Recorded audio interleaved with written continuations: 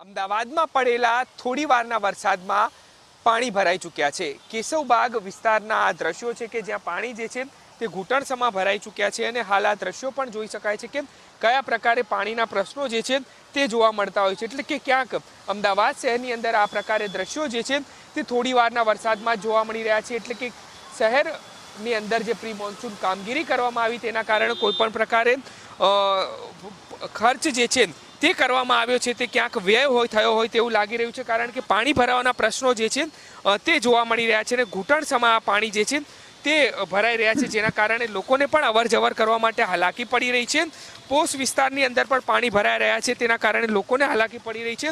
મોટાભાઈ પાણી ભરાય છે, કેવી તકલીફ થાય છે અવરજવર કરવા માટે? તકલીફ ઘણી થાય છે. કોર્પોરેશન વિશે શું કહેશો?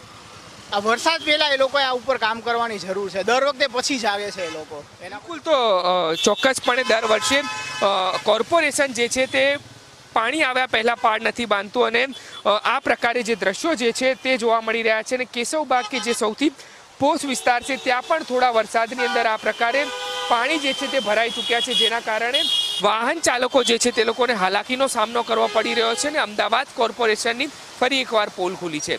કેમેરામેન પરેશ રાજપૂત સાથે દીપક સોલંકી, વીટીવી ન્યૂઝ, અમદાવાદ.